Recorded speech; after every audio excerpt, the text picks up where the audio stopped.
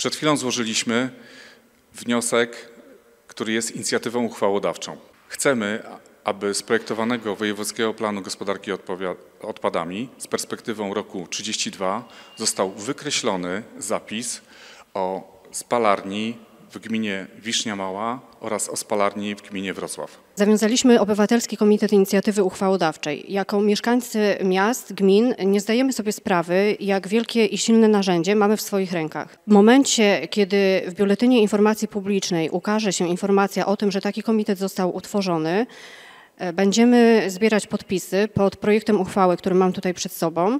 E, Projekt uchwały dotyczy wykreślenia z Wojewódzkiego Planu Gospodarki Odpadami instalacji do termicznego przekształcania odpadów na terenie Wiszni Małej i Wrocławia. W dniu dzisiejszym e, Wojewódzki Sąd Administracyjny we Wrocławiu e, uwzględnił skargę spalarni e, i uchylił obydwie decyzje, zarówno wójta gminy Wisznia Mała, jak i podtrzymującą ją decyzję samorządowego kolegium odwoławczego w przedmiocie stwierdzenia niezgodności zamierzenia spalarni z miejscowym planem zagospodarowania przestrzennego. Nie zgadzamy się z tym wyrokiem.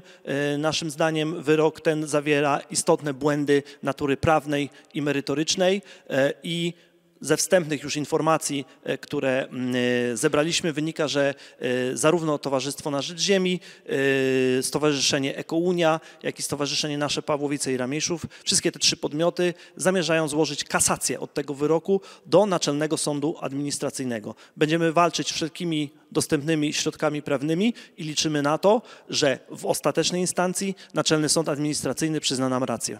Będziemy zabiegać o zaskarżenie miejscowego planu przez e, wojewodę. Będziemy również działać na szczeblu rządowym. Byliśmy już w Sejmie kilkukrotnie. Spotkaliśmy się też z przedstawicielami Komisji Europejskiej. Nie cofniemy się przed żadną możliwością, aby doprowadzić do zablokowania budowy tej instalacji i powstrzymania tego obłędu w skali całego kraju, bo jak już wielokrotnie pisaliśmy, jest tych instalacji zabezpieczonych zbyt dużo jak na krajowe potrzeby.